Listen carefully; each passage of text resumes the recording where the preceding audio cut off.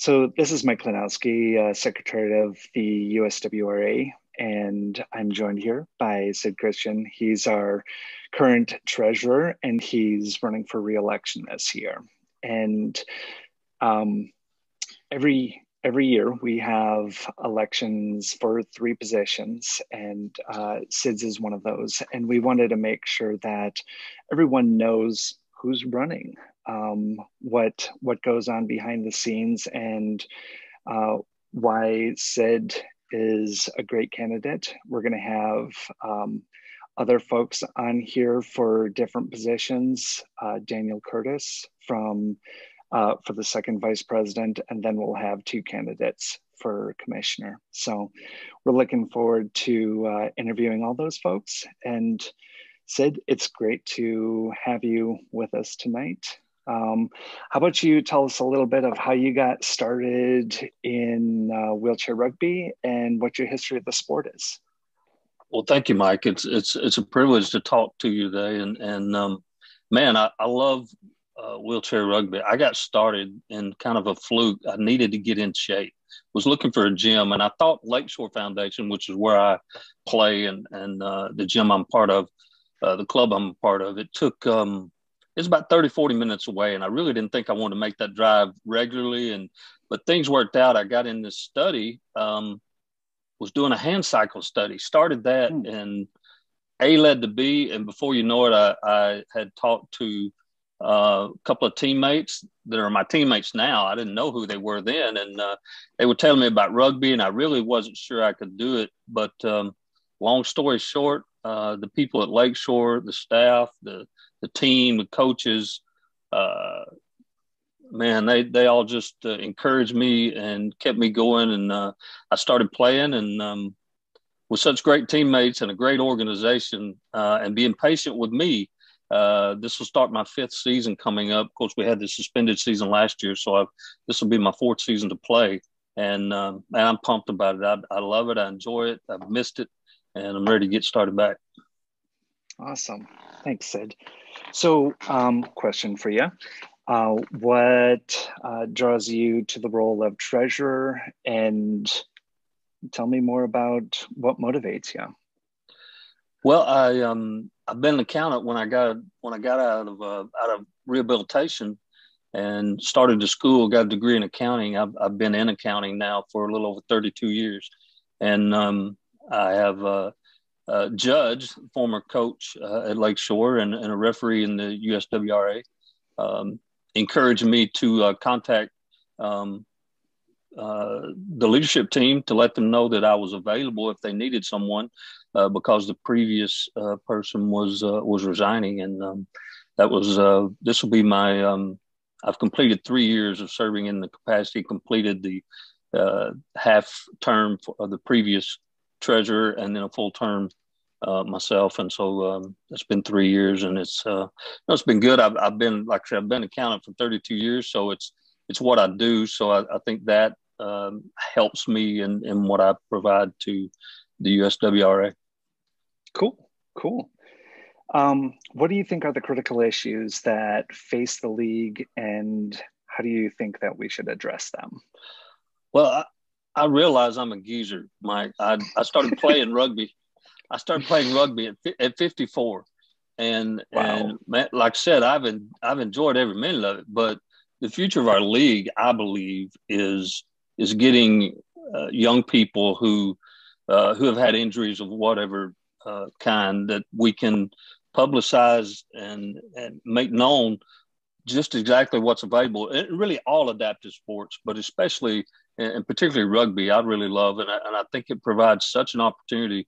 Um, that to me is is I think getting a younger um, players involved, and um, you know I, it's great for people like me. I mean, I love it, but it's a sport that you can play uh, for a very long time, and um, it's it's great to be a part of a team, and there, there are a lot of benefits uh, from rugby. But I think just uh, getting the sport a little bit younger and and there are challenges and you know i wish we didn't even have to have players i would love to wake up one day and there's nobody looking for a team who's had some sort of injury but uh, the truth is there's a lot of people out there and they're like me uh, at one point I didn't know rugby existed. I didn't know basketball existed. I know that's hard for some people to believe, but um, when my injury occurred years ago, none of that existed.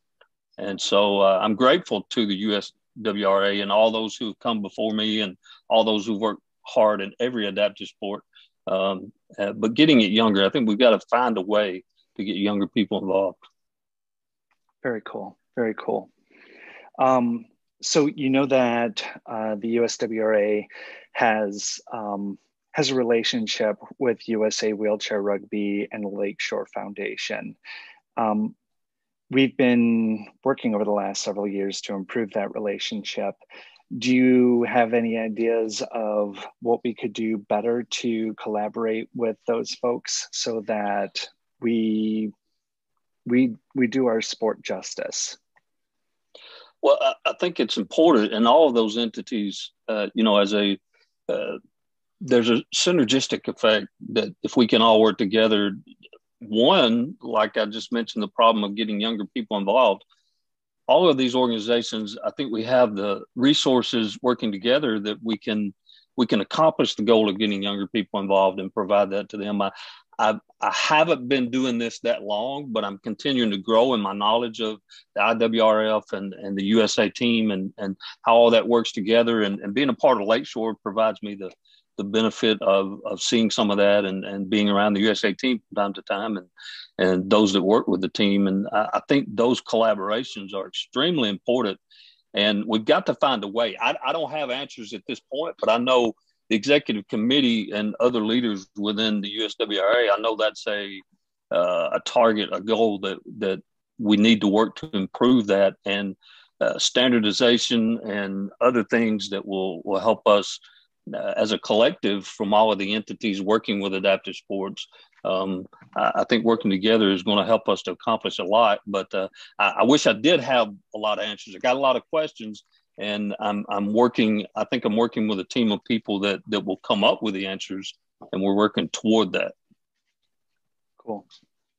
So um, you also know that it, this is this is one of those uh, relationships we we've also been trying to work on uh, as as the executive committee, working with the IWRF. Um, what do you see as the future of our relationship with the international governing body and how do we improve our relationship with them i think the communication is critical and, and the more we work toward um, you know a, a common uh, set of rules and procedures and i know there's a lot of challenges to uh, working some of the differences out but i think uh, standardization and and making things uh, level across the board, uh, both with classifying and and in cooperating with international events and a lot of different things. I think those are things we have to work toward, and we are working toward that. I've seen that, and and I think it's going to continue and and produce more and more fruit. Yeah. Um. So here's the toughest question of the night if you had one thing to get for our league, if there's one thing we want to work on, focus on um, in the next five years, what would be a home run for you? A home run for me because the sport has meant so much to me, and I've gotten so much out of the sport, both uh, physical benefits and then the benefits of, of being a teammate and getting to know all the amazing people that are involved with USWRA. Um, seeing that spread out, I don't know what the statistics are I, for how far the average uh, spinal cord injury or amputee has to go to find a team. The home run for me would be that there's at least two or three teams within um, driving distance of every major city. Yeah. That that to me would be because I know the benefit of it and I know how amazing it is and how much it can help and what people get out of it uh, and what they give. I think USWRA and our athletes and everything that we do have so much to offer to the communities that we live in. And but to me, spreading and making available um, USWRA would, would be a home. If we could do that, that would be number one. Fantastic. Well, Sid, I appreciate your time. I know that you're running unopposed, but I I thank you for, you know, spelling out uh, a little bit more about what you do and what you'd like to do with the league. Uh, transparency is key, and you know, just letting people know that there are good folks behind the scenes working on things, mm-hmm. and you're one of those folks, Sid. So thank you for your your time and your effort, uh, especially over these last three years. And uh, I hope you have a wonderful night, man. Thank you, Mike. Thank you for all you do and the rest of the executive committee and everybody working with the USWRA. I look forward to seeing you guys this coming Saturday. Very cool. We'll see you then, Sid.